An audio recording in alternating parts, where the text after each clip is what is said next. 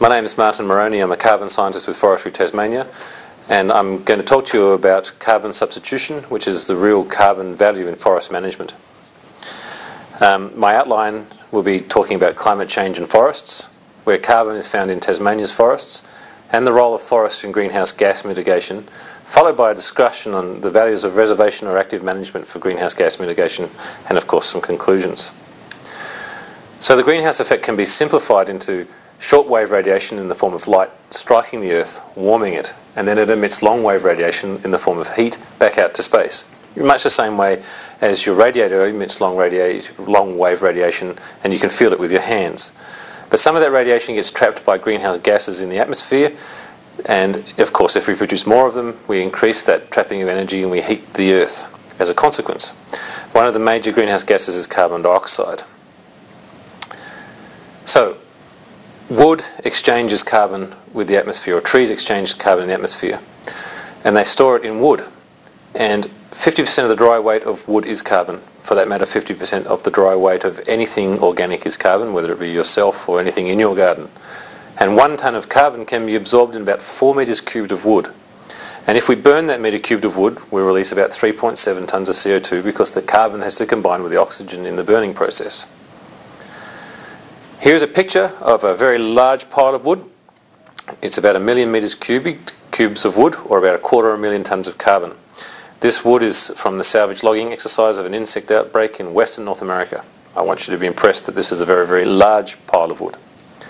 So now to put this into context with the global fossil carbon emissions, in 2010 they've been recently estimated to be about 9 gigatons of carbon from the burning of fossil fuels.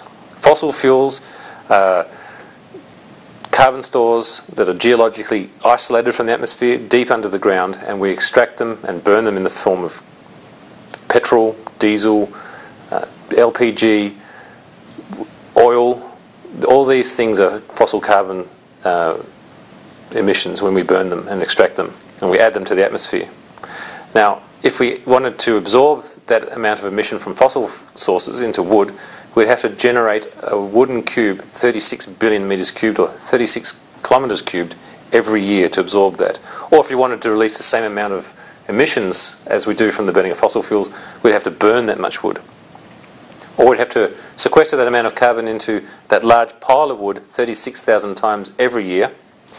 Or we'd have to produce a 2 by 4 that wraps around the Earth at the equator over 300,000 times every year.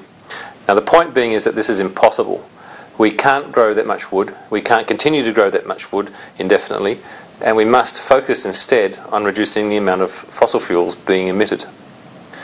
Here is a recent publication describing the amount, where the, the carbon sources from the Industrial Revolution. And you'll see that the emissions from deforestation, which is the conversion of a forest to a non-forest, are estimated to be 15 to 20%. So I've shown about 17.5%, with the remainder coming from fossil fuels. Again, the emphasis is the main problem is the burning of fossil fuels, not what's happening on the landscape. However, the landscape is important. 17.5% is not insignificant, and forests can exchange carbon with the atmosphere. Forests store carbon in both the above and the below ground, in the living and the dead uh, organic matter pools. A sink is when these pools are increasing in their carbon stocks, and of course, a source is when they're emitting it back to the atmosphere. And that depending on the stage of stand development, a stand, a forest stand, can be either a source or a sink, not just a sink as we're often told. And the net balance of a forest is then determined as the sum of each individual stand that comprises that forest in that landscape. So if we now look at, the, at a typical uh, dynamics of carbon after a disturbance, we see that forests, after they've been disturbed, whether it be harvested or burned or killed by insects, you lose the photosynthetic apparatus or the leaves that reduce or take the carbon from the atmosphere. But we still have a lot of organic matter on site, and that decomposes slowly with the organic with the microorganisms and emits carbon. So after a disturbance that affects the the, uh, the stand, kills the stand, that the decomposition processes continue. They're larger than the photosynthesis sequestration of carbon, and we end up with a carbon source, probably for the uh, period of time roughly in the order of a decade. Revegetation establishes, the forest starts to grow quickly, and the the carbon absorbed into the forest through the foliage exceeds that loss through decomposition and the forest becomes transitions to a sink again. But as it grows old, it, the trees get only to be so large, they don't grow indefinitely, they tend to become carbon neutral, maybe even being a slight carbon source. So if we understand what the shape of that curve looks like for an individual stand, and we know the distribution of the ages of individual forest type on our landscape, we can simply multiply the area of a forest at a particular age by the carbon content at that age, and we can get an estimate of the carbon content of that age class on the landscape. And if we want to understand the landscape, we do that for every single age class and forest area type for every type of forest on the landscape, and we can get an estimate of the amount of carbon in a landscape. This is a process that's commonly done internationally, and it has been done in, in Australia as well, including in, in Tasmania. Generally speaking, if we have a forest with a given age class, and we allow that forest to become younger, such that we have uh, harvesting regimes or natural disturbance regimes that increase in their intensity in that landscape, we'll make that forest move or probably become a carbon source, or at least will reduce the sink of that forest. Because we're moving forests from large carbon stores to lower carbon stores.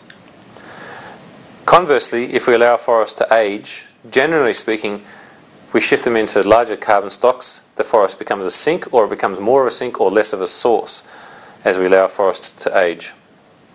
So now if we think of where carbon is in Tasmania's forests, we have a complex mosaic of forest types. We've got wet for- eucalypt forests, dry eucalypt forests, and temperate rainforest. And I'm going to talk to you about only that portion managed by Forestry Tasmania, which is 36% of all of Tasmania's forests. I ask a question about iconic forests, where I ask what proportion of forests look like this, and that is described by forests that are dominated by 55 metre tall trees with high crown cover, so there's not very many gaps between the, the crowns of the trees. And I ask people to comment on whether it's a proportion or a percentage of land cover, whether it falls into these categories of greater than 60% to less than 1%.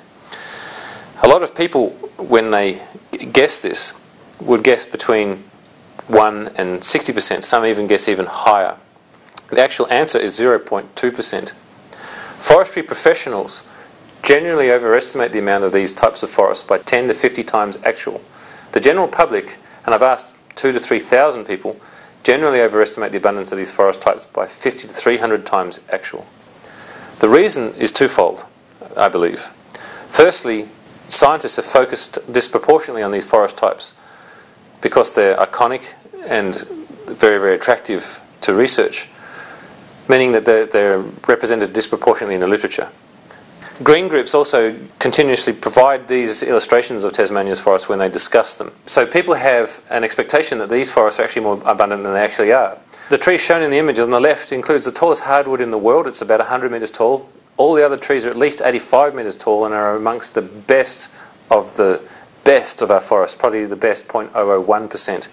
Wet eucalypt forests in Tasmania start off growing, as this diagram shows, and increasing in height, and eventually they get a, a, rainforest understory.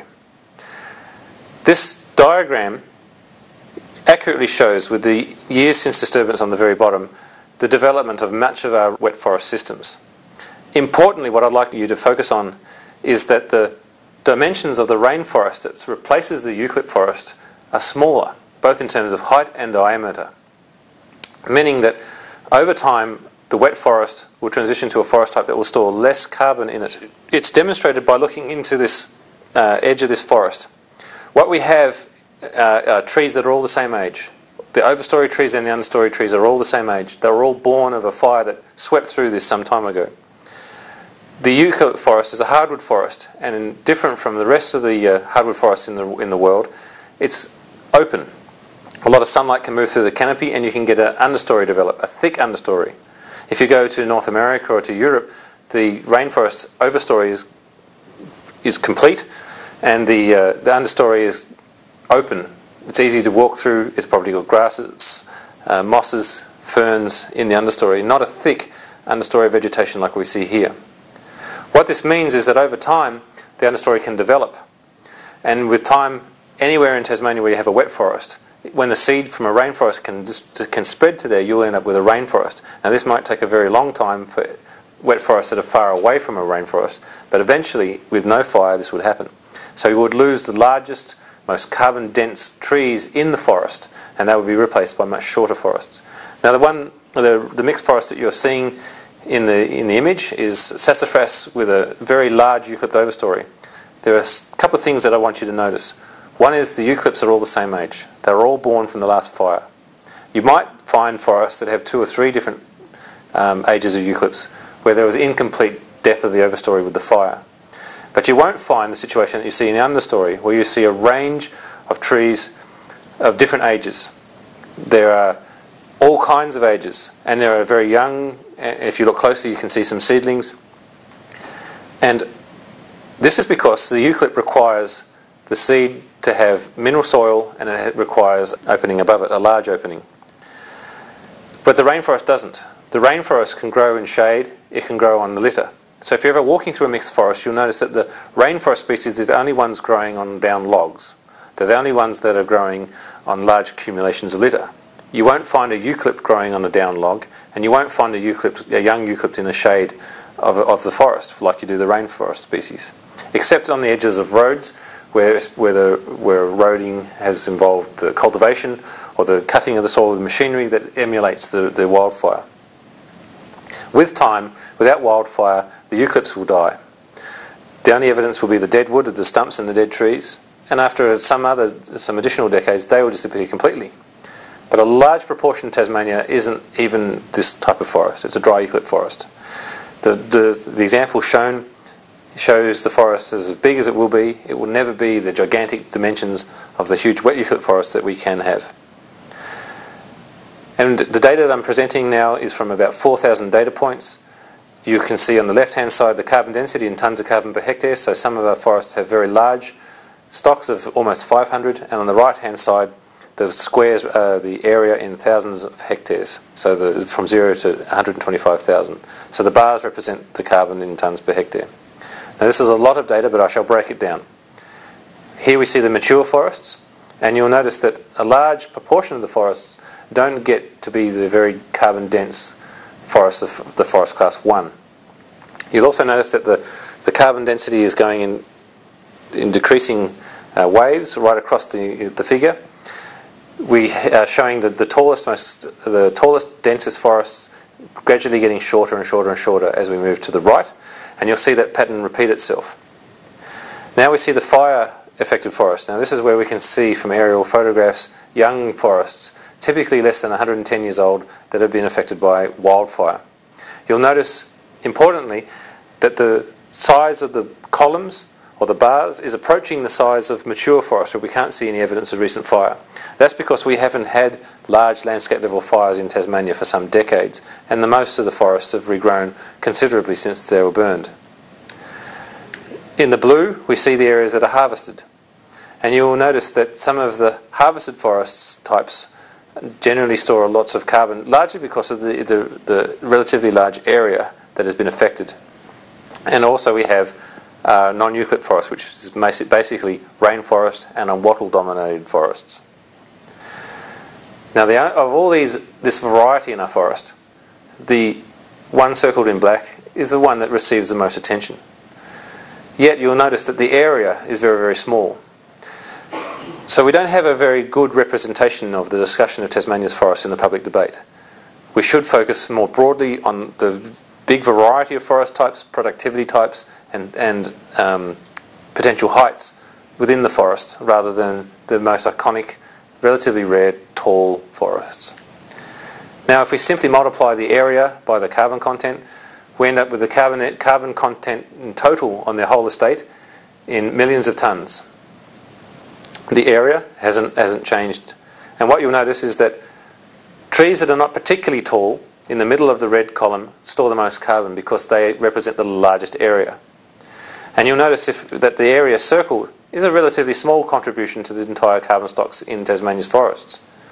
It's not to say they're not important, but the notion that we can prevent or drop, dramatically reduce our carbon emissions by preventing the management of those forests is simply wrong, just because they don't represent a large enough area. We have large areas, larger stocks of carbon in some of our forest types that have been previously burned, in some of our forest types that have been previously harvested, simply because there are larger areas of them. We even have larger, larger carbon stocks in our shorter rainforest because of the large area of those forests. Now, if we simplify it even further, in standing trees, including the live and the dead trees, we've got about 163 million tonnes of carbon in state forest. This is dominated by the wet eucalypt forest, a little bit because it's more abundant than dry forest, but because mostly because the dimensions of the trees are much, much larger. The dry eucalypt forest stores 41 million tonnes of carbon, and the rainforest about 17. Now, if we could make all eucalypt forests simultaneously mature, we could add 65 million tonnes of carbon to the estate. But this will be absolutely impossible because we can't stop wildfire that prevents this from occurring. Interestingly, if we wanted to maximise carbon stocks in our forest, it would lead to the perversions of converting forest types. We know that wherever there is a rainforest or a wet eucalypt forest, they can, one or the other could, could occur there. And we've seen uh, naturally these transitions occurring, and it's been done scientifically and demonstrated uh, that you can convert one to the other. If we converted our rainforest to a eucalypt forest, which would be a wet eucalypt forest because the dimensions go up, we could add 28 million tonnes of carbon to the estate. Now, it would take a number of centuries, but it could be done.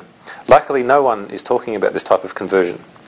However, if we attempted to stop the wildfire that would burn uh, forest as it matured and release the carbon stocks and regenerate it to a younger forest.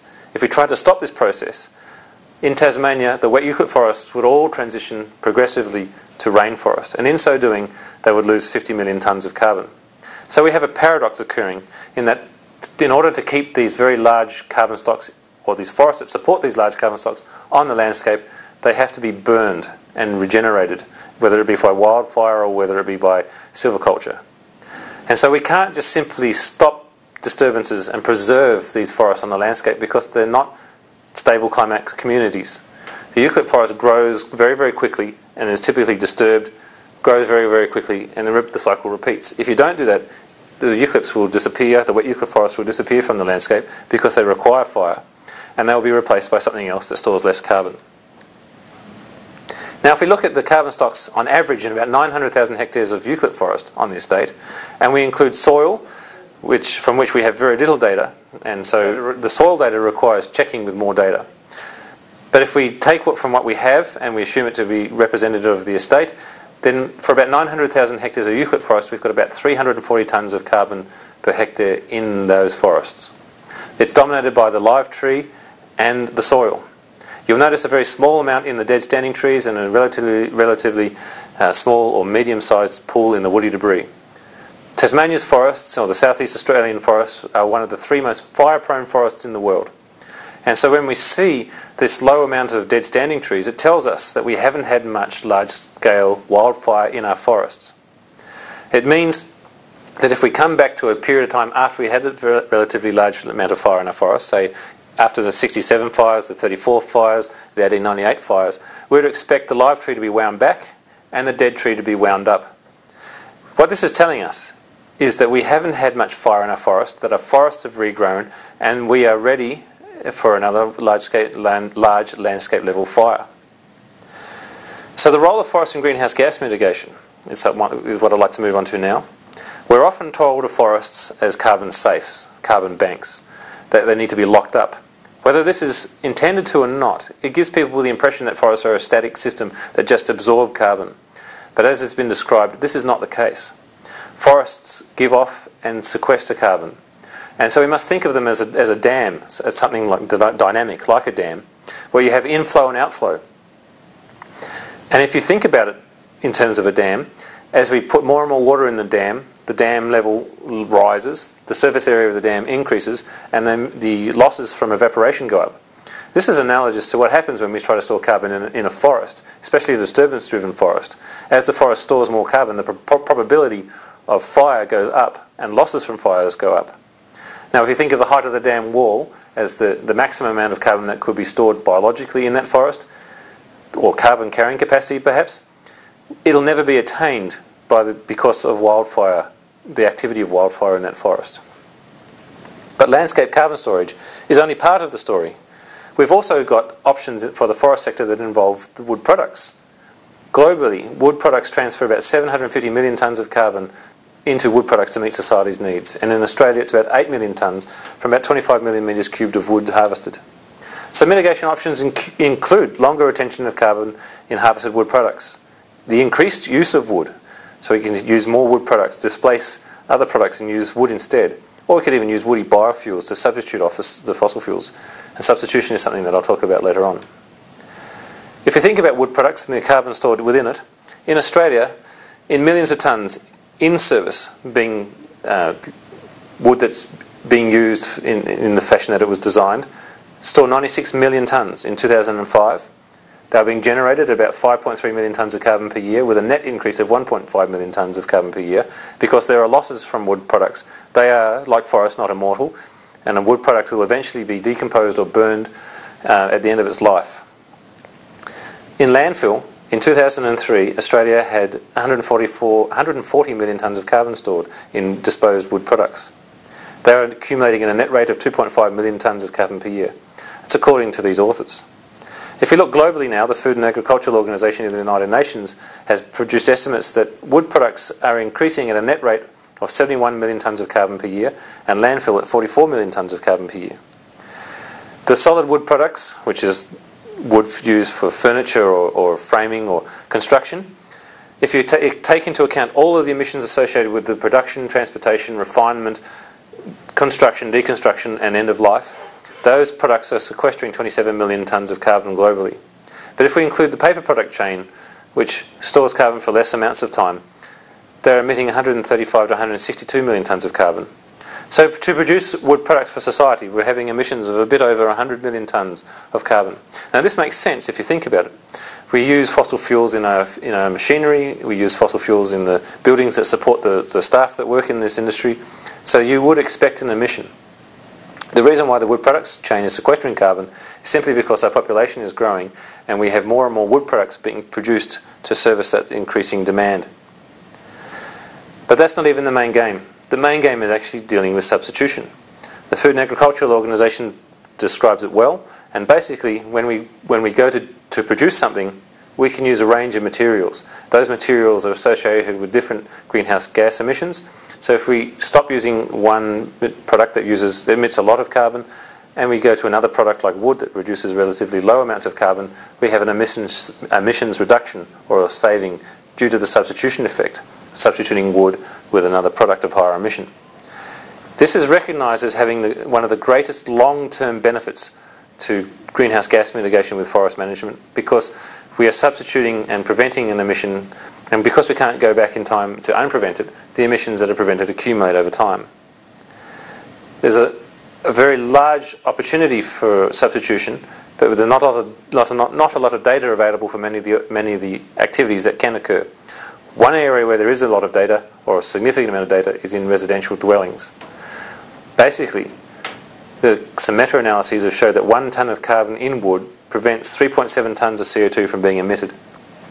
Based on these meta-analyses, another study has shown that in 2006 alone, the use of wood in residential dwellings prevented 135 million tonnes of CO2 from being emitted if wood were, were displaced by other materials.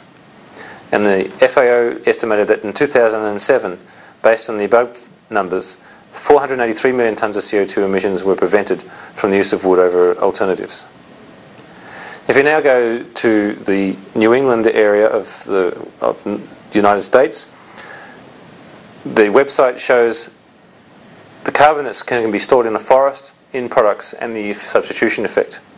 Because forests saturate, you see a blue line being generated by the amount of carbon that can be stored in the forest.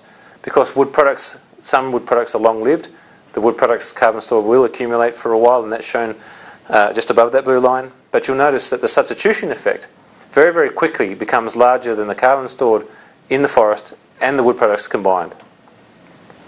And the graph that's shown shows from 2000 to 2165, so the time that gives you an indication of the time frame.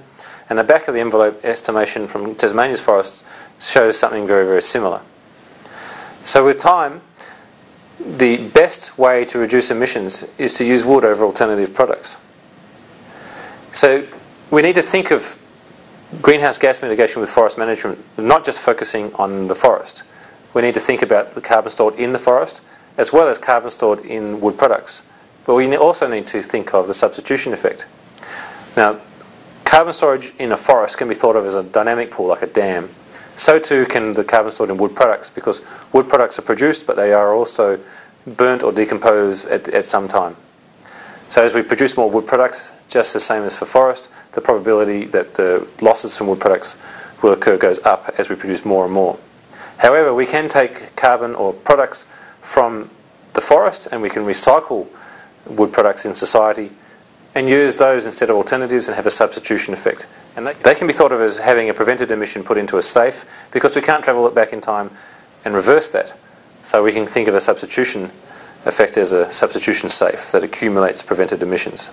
And if you think about it, what the IPCC wants us to do is to completely substitute the burning fossil fuels with renewable alternatives such as wood. So now if we think about reservation and active management, we have to be mindful that the IPCC projects relatively large temperature changes over the, the coming decades for the whole of the world. And it is in this setting that we are often discussing the storage of carbon in forests. However, if we do try to store carbon in forests that are subject to this type of temperature change, we have to be mindful that that will invoke a change in our ecosystem. There are a number of publications presented. Here is one that shows the distribution of ecosystems in British Columbia on the west coast of North America. We have climate change redistributing these, these ecosystems. You don't need to know what they are, just that they are very, very different in their distribution. These forests will become increasingly maladapted uh, to their climate. The probability that they will store carbon, additional carbon, might be there in some instances, but in many instances, the forests are likely to become younger as they try to transition to the, uh, the new areas where the climate becomes suitable for their growth.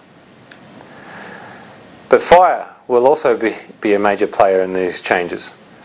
Here is a historical look at the fire in Tasmania, put together by CSIRO. And in Tasmania, famous fires are the 67 bushfires, which are thought of as being large. They burned about, in this estimate, about 175,000 hectares. However, it seems that these fires are just medium sized. Megafires in Tasmania might be in the order of a million hectares. A published estimate for the 1934 fire is between 800 and 900,000 hectares. If this sounds remarkable, we just have to think of Victoria, a neighbouring state, where since 2003, 3.5 million hectares of forest have burned. In Australia, our plantation estate was recently estimated to, at best, sequestering 11 to 13 million tonnes of carbon per year. However, just two fires in Victoria in 0304 and 0607 were estimated to burn 3 million hectares and release 150 million tonnes of carbon which is more than a decade of the net sequestration of our entire national plantation estate. We have since had a large, another large fire in Victoria. There have been large fires in New South Wales as well. Fires drive the carbon dynamics of Australia's forests, not harvesting. Here is a picture of Hobart showing it burned. It looks much, much different now, but you can still see the, the dead standing trees from this fire. And it reminds us that fire um, burns our forest, but also you can see in this image that there are houses that have been burned. It took some lives in this particular uh, 1967 fire. As we try to store carbon in our forest, we're storing biomass. That biomass is the feedstock for wildfires. And we can't separate managing forest for carbon and the outcomes that, we will ha- that will happen for fire. And we must be mindful of that. And in Australia, our fire uh, fire hazard is expected to increase with climate change. We also be, must be mindful that Australia imports wood. If you go onto the government website, you'll see that every year we're importing between 600 and 900,000 metres cubed of sawn wood to meet our annual wood supply and much larger quantities of paper. Our net, Australia's net deficit in wood is about $2 billion, and that's imported, that's, we meet that from importing wood from, largely from Southeast Asia. A recent study has shown that 2.7 million hectares of Southeast Asian forests were cleared to meet Australia's net wood demand. And many of these forests are managed to lower standards, which means that there's probably more intensive, and the and management there is associated with larger emissions than it would be if it was done domestically. There's also extra freight to bring that wood to our markets, and that's also associated with emissions from fossil fuels. So, reservation implications include less forest health and monitoring, because there will be a loss of the revenue from wood to support that sort of expertise.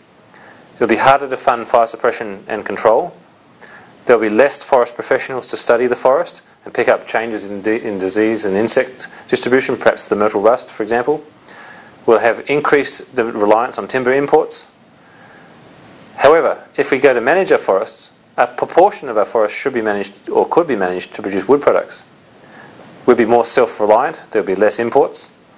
there'd be investment and employment in the forest industry. there'd be greenhouse gas mitigation benefits associated with the produ production of wood products that would, would uh, support and create markets, investment and employment. These revenues would also fund forest management, the regulation required to keep forest management practices sustainable, the monitoring, which would also serve that purpose, as well as fire suppression. And there are a couple of opportunities that I'd like to raise to you in terms of engineered wood products and biomass fuel. Further that uh, in Tasmania, Native Forest Management recently supported greater than 50% of the forest workers. It provided $585 million in final wood products value for the year uh, 2010-11. The contribution of the paper industry to the state of Tasmania is 1.2 to 1.6 million, and Forestry Tasmania's annual contribution to the Tasmanian economy is about 111 million dollars per year. And since corporatisation, about 17 years ago, Forestry Tasmania has, paid approximately $100 million in taxes, rates, and dividends to Tasmanians, according to these sources. Forestry Tasmania is legislated to provide 300,000 metres cubed of saw logs. It produces approximately 15,000 metres cubed of specialty timbers has about 12,000 kilometres of roads that provide access to tourism and recreational sites. And these forests are different from the national parks in that people can have campfires, they can take their dogs, ride horses, and it's all entirely free. Forestry Tasmania fights about 90 unplanned fires per year and, and has a range of staff that deal with forest health and monitoring. Now, if we considered the other the benefits of uh, possible future markets, in, in, firstly in engineered wood products, first of all we think about the, the processing of sawn timber, which requires relatively large pieces, about 40 centimetre in diameter. They have a low total recovery due to the, uh, the sawmilling process, and they have a significant amount of drying time. However, we can peel wood that's relatively small, only 15 centimetre end diameter, which means that we can have much shorter rotations both in the native forest and our plantations. And we can also use poorer quality wood. We can combine it with high quality wood and have a, have a um, recombine it into like LVL or cross veneer lumber and produce strong structural wood that incorporates the smaller pieces of uh, poor, lower quality wood. Here are some examples of engineered wood that, are, that can be made. And they can, can, as described, use low quality logs. There's a higher recovery because we don't have so much sawdust generated and we can use larger portions of the log.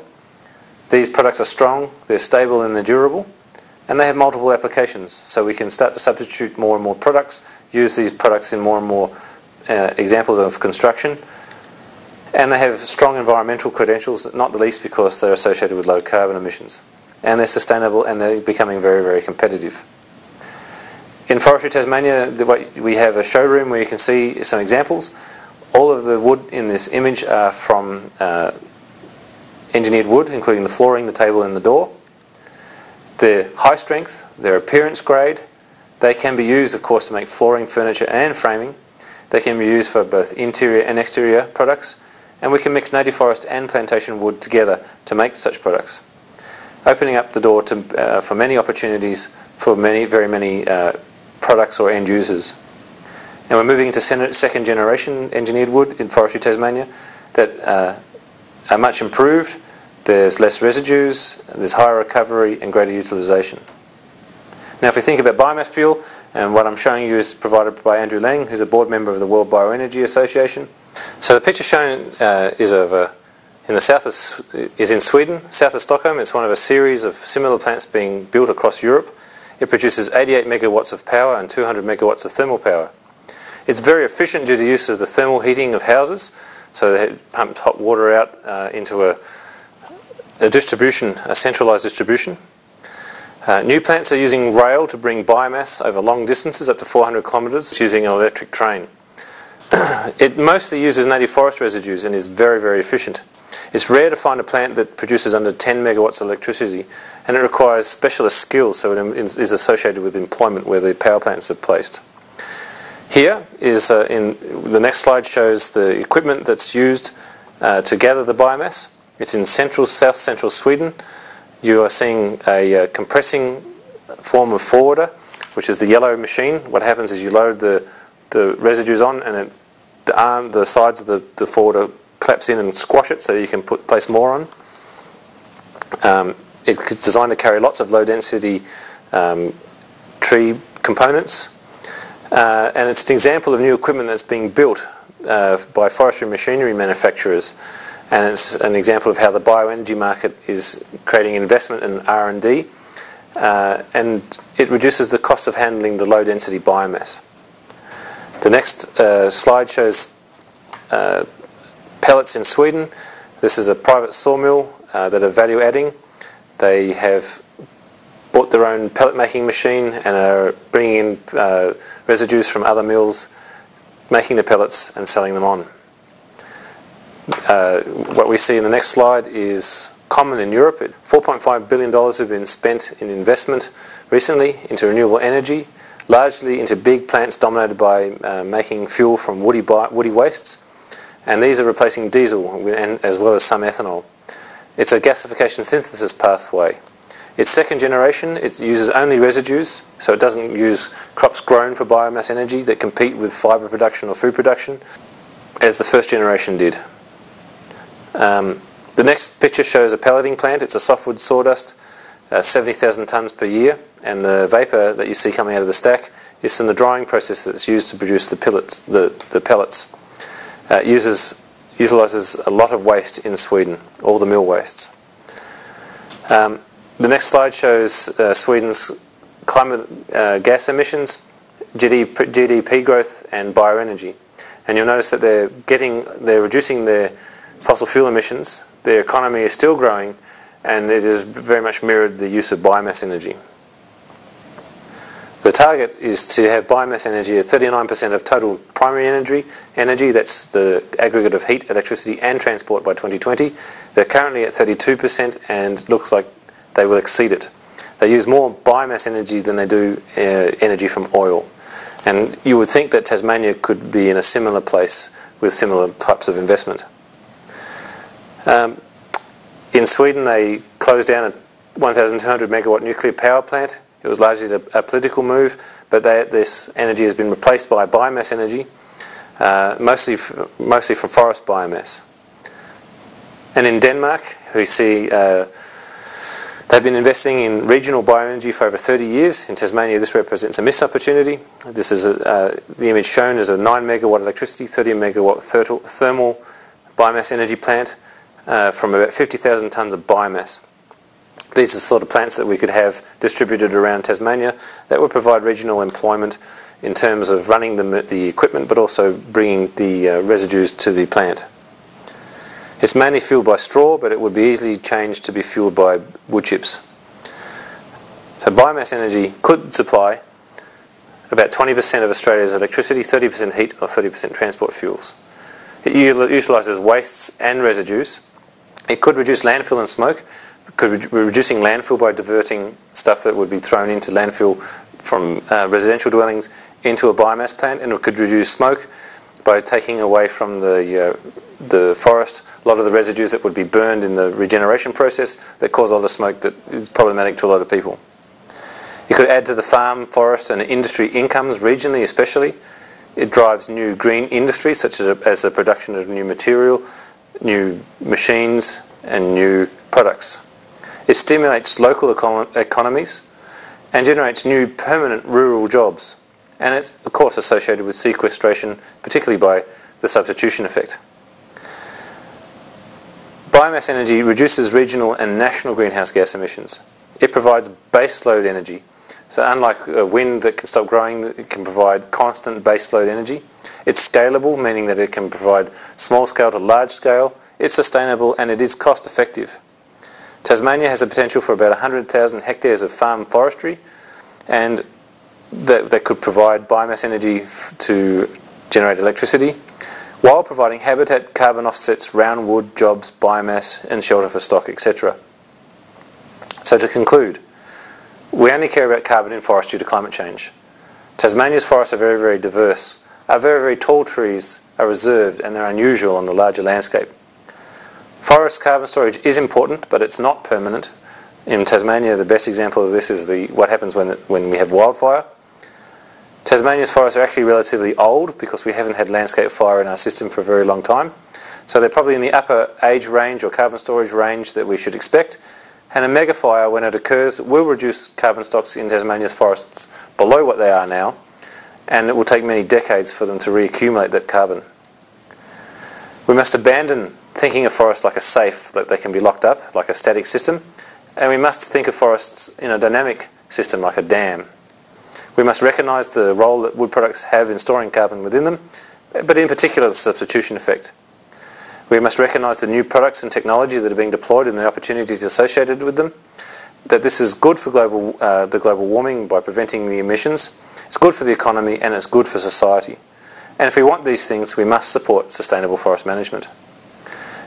But in particular, we must avoid the worst possible outcome, where we attempt to store carbon in the landscape by halting active forest management with landscape carbon returned to the atmosphere by wildfire with no products extracted and no carbon stored in wood products, no substitution effect. We import more wood associated with more emissions and have no benefit to society or the economy. Thank you very much.